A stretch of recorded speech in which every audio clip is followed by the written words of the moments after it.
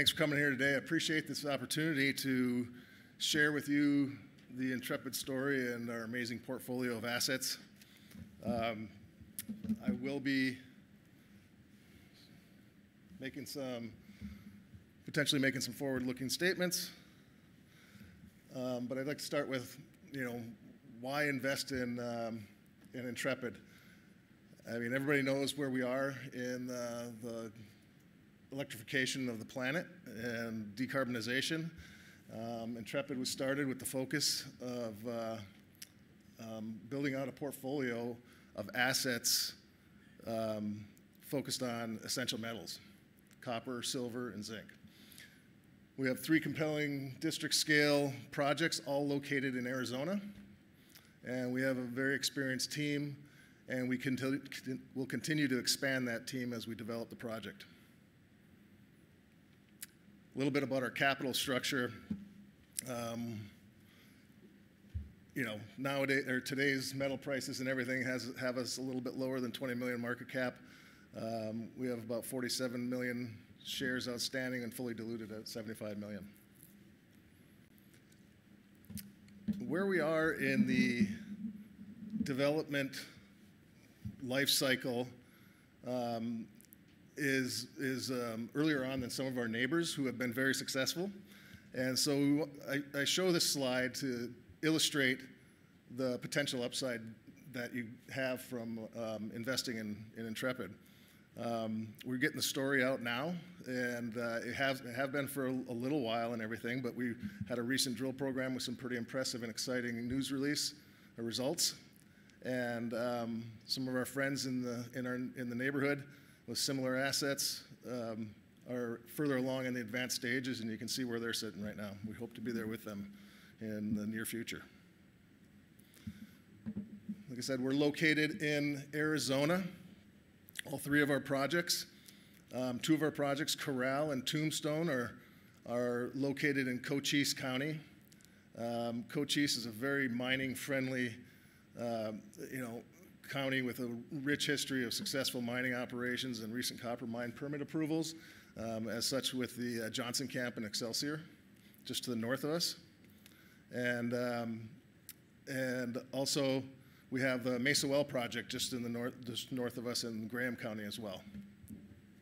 What's important to note about all these is when we started this portfolio of assets, um, we started with a de-risking view like right out of the gates we looked for assets that were not located in national forests, forests and protected areas. So right away, taking that off the table. Again, Arizona is a tier one mining jurisdiction. 70% of all the U.S. copper is produced in Arizona.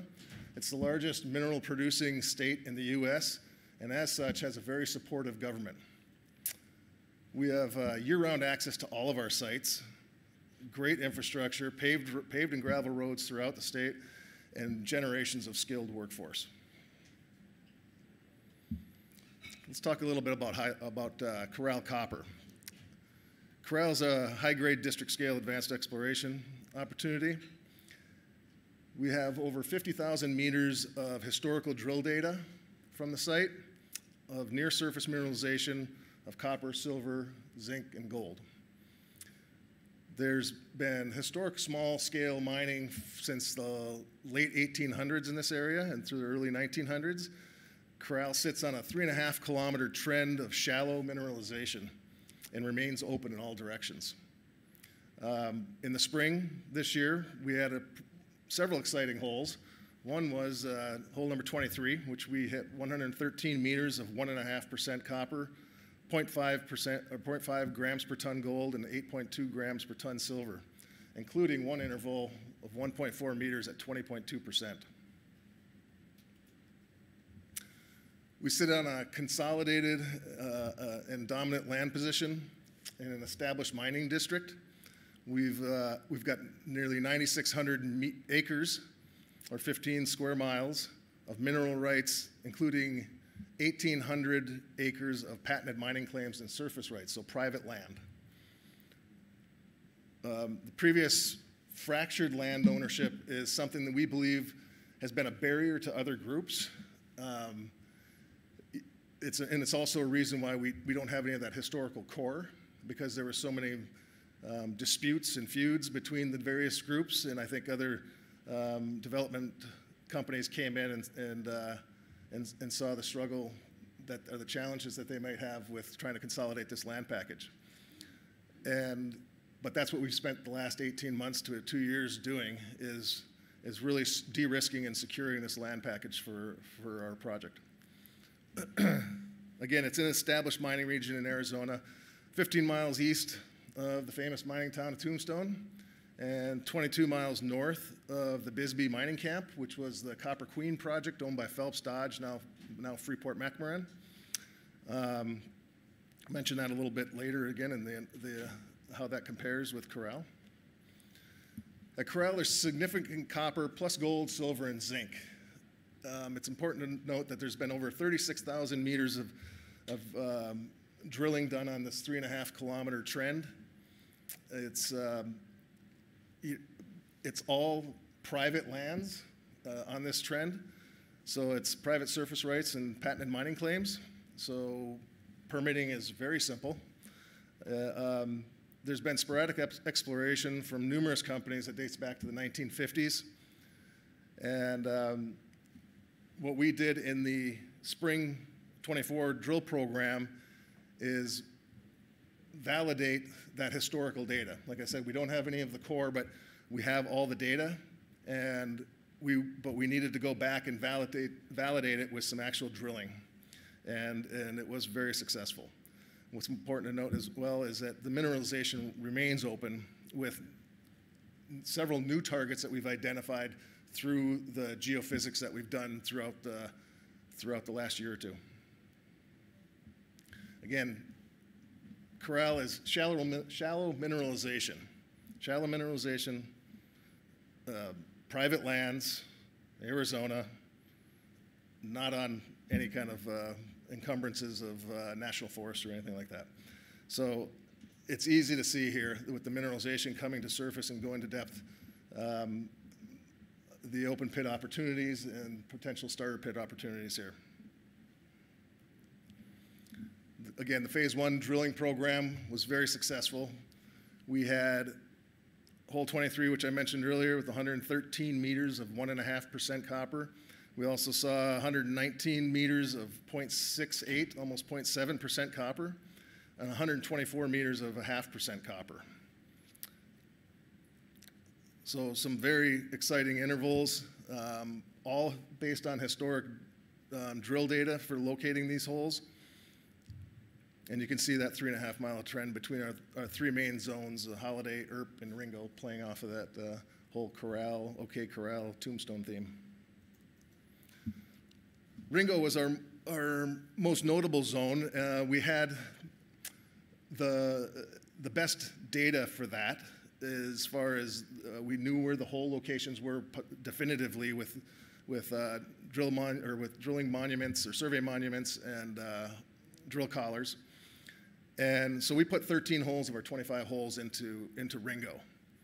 And, um, and again, Ringo's measuring out right now at about 900 meters by 800 meters, and very similar in size and mineralization type of deposit as the Copper Queen project or Copper Queen, Queen mine in Bisbee, which started out at 53 million tons and 6% copper.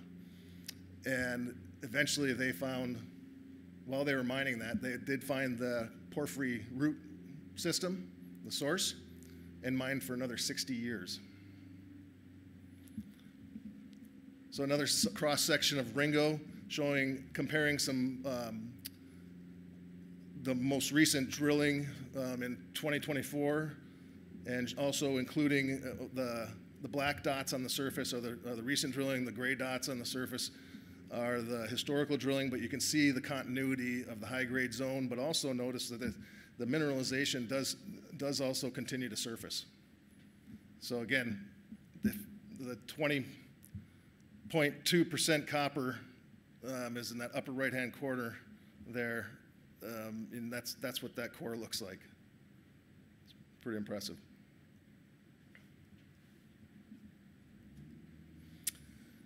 Again, um, our next project, next one that we get a lot of attention for, and sometimes more attention and more interest than uh, Corral, is our Tombstone South. It's Tombstone South is a potential to discover substantial high-grade silver, lead, zinc veins and carbonate replacement deposit, or CRD. Um, it's in a, again another prolific mining district that's uh, you know has billion-dollar copper deposits, extremely strong similarities to the Taylor deposit, um, which was is the Hermosa mine, uh, which was sold to South32 from Arizona Mining for 1.3 billion in 2018. But Tombstone's not located in a national forest. I actually oversaw the um, the feasibility study on uh, on uh, Hermosa. It's a great great ore body. Uh, it's on a postage stamp of a of a property on the surface, and it's not going to grow. Um, the high grade. There's been um, historic drilling at Tombstone that's, that's showing some really high grade intersections.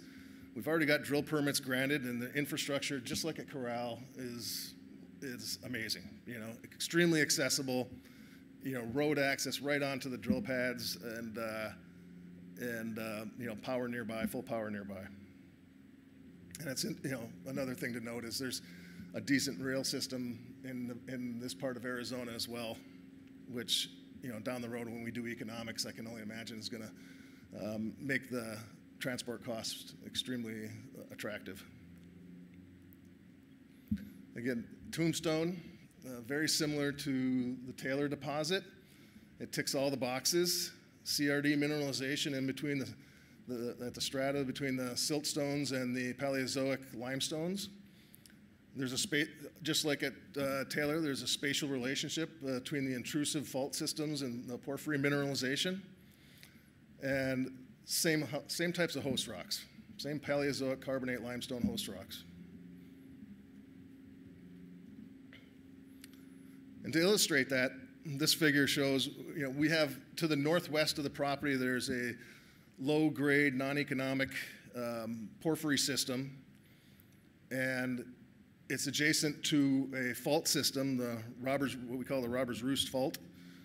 And that intrusive uh, provides the, um, the pipeline for the, the source of the hot, the, the heat source from the porphyry to push those hot fluids up into that zone, just like in Taylor, where there, that interface between the siltstones and the limestone, the Paleozoic limestones, um, has the shows the um, Taylor deposit mineralization, primary mineralization. So, but there's been historical drilling um, it, on the property um, in 91, 95 by BHP, and um, in 2007 um, but the, the thing is, nobody's gone deep enough. Nobody's gone through that interface between the siltstones and the limestone, the Paleozoic limestone, where, where the mineralization uh, resides at Taylor.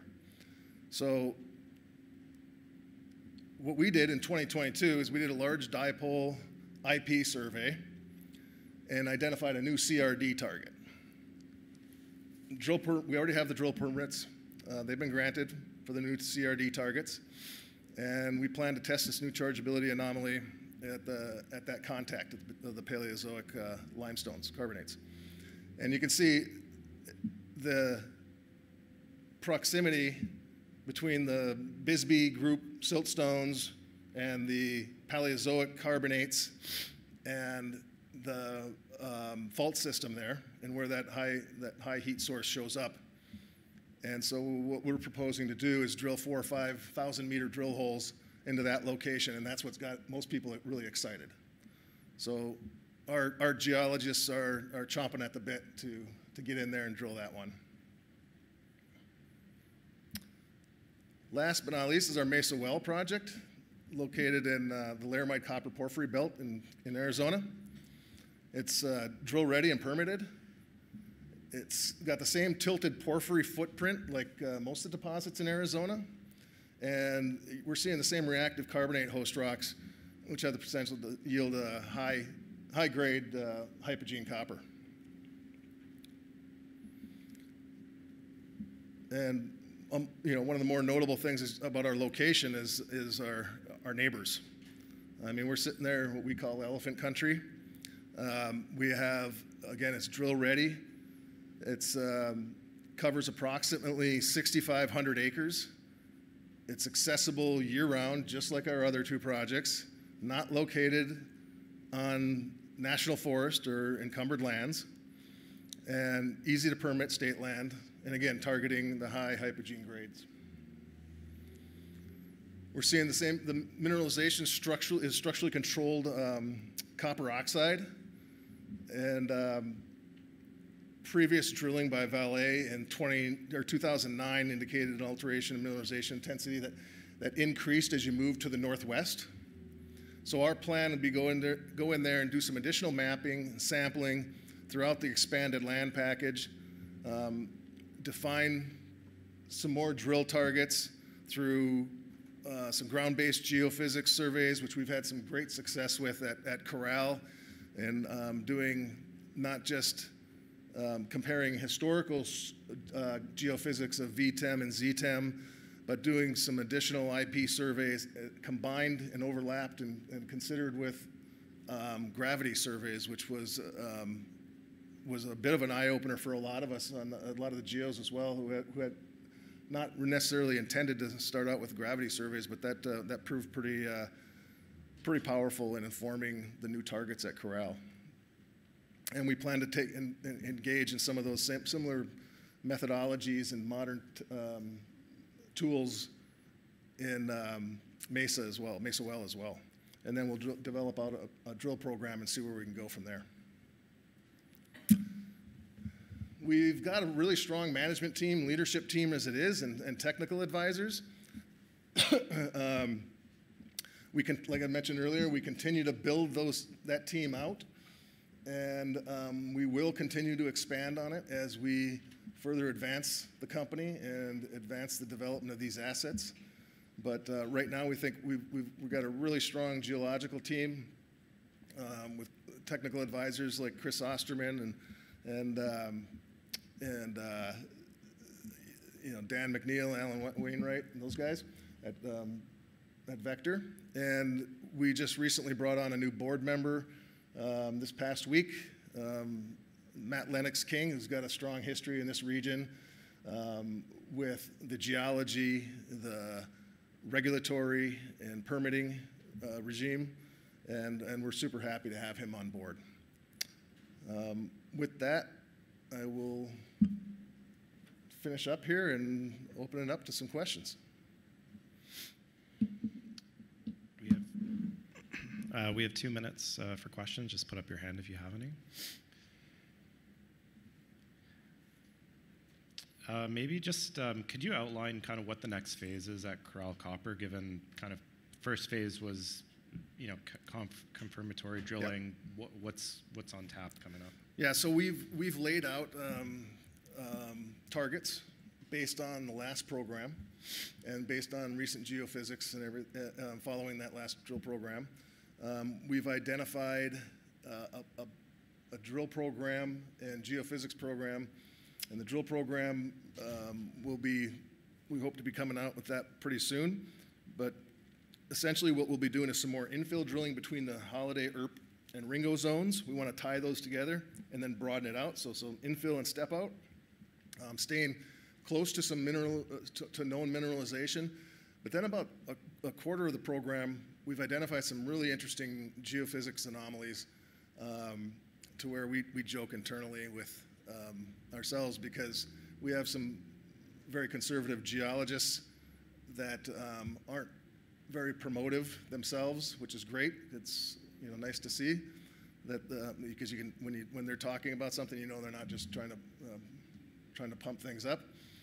And, um, but when we got them on site and we looked at that in comparison with the geophysics, the comment was, you're crazy if you don't drill this. So, um, so we're, we've got some really good targets outside that are more exploration targets, which is about a quarter of the program, and I'd say 75% of the program will be focused on the infill and the, um, and the step out and, and, broadening um, that three and a half kilometer trend between Holiday, Earp, and Ringo.